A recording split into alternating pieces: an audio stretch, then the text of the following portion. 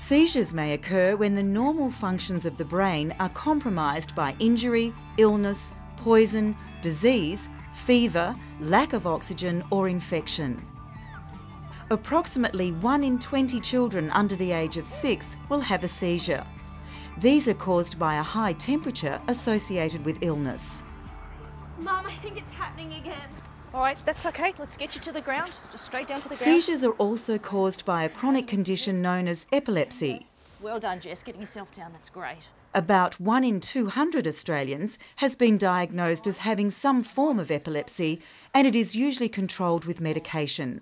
All seizures require first aid care because the casualty needs to be protected from dangers that may cause injury during a seizure.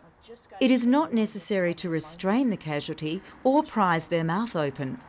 Once limbs cease to spasm, check airway and breathing. If breathing effectively, turn the casualty onto their side until consciousness returns. Assess for and manage any injuries.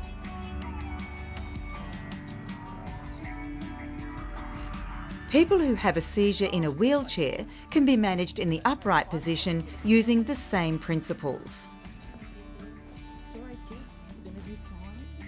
Call an ambulance only if the seizure lasts for more than five minutes, another seizure quickly follows, the casualty has been injured, or they have a history of diabetes.